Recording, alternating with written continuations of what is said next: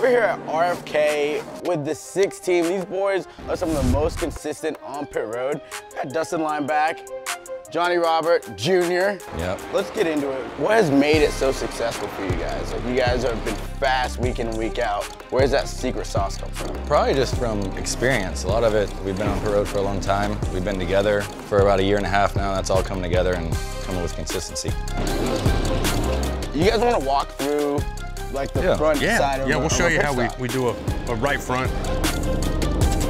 Walk me through the first couple steps that you have going on. So the first thing that all of us notice is spotter says 10 away. So we start trying to pick up the car, and then we have a jump line, which is one stall behind us.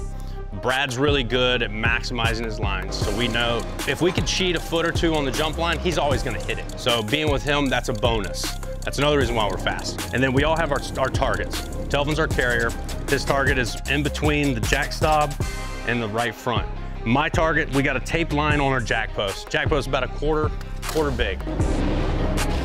At this point of the stop, the car is already up. I'm already gonna be engaged. My, my goal is to be engaged before the car actually makes a stop.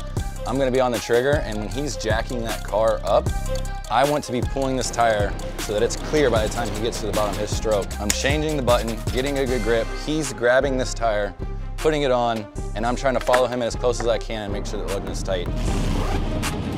First step I make is out to give him area to run through. Right.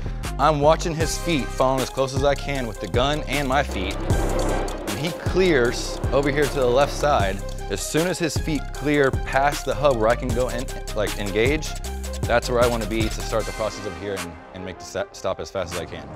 Thank you for explaining that. There's a lot of moving parts, literally and figurative- figuratively speaking. Um, what about the pit crew challenge though got you so jacked up? Because this is your time. This is your moment to shine on the big lights.